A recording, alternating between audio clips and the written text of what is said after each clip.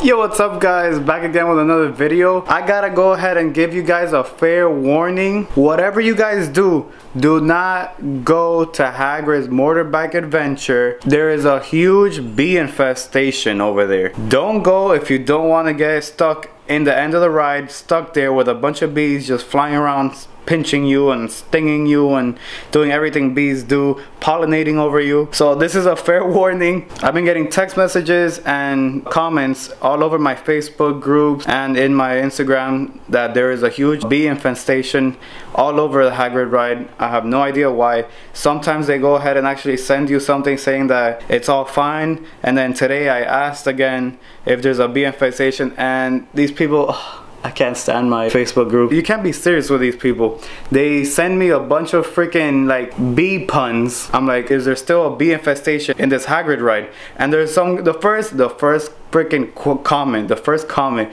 of course it has to be it has to be it has to be it might be I can't stand you people. I want to say they're killer bees. I have no idea. They're just bees that sting you. I would have thought Universal by now would have gotten this handled especially if someone gets bit. And I'm pretty sure if there's a lady around there gets bit or like their child gets bit there's gonna be a freaking a bad angry little lady screaming at the top of her lungs because her child just got bit by a bee. So I suggest if you guys are going to Universal this this coming week or month, I wouldn't go ahead and ride the Hagrid ride if you're allergic to bees. If you're not and you just you just have to ride the the Hagrid ride, go for it. I definitely recommend it. It's one of the best rides in there. But You've been warned. This is a fair warning to you guys. Now I'm gonna go ahead and show you guys just how ridiculous these freaking comments are because I'm telling you, these people just can't stop with their freaking puns. Alright, so I asked, guys, is this is this bee infestation still going on?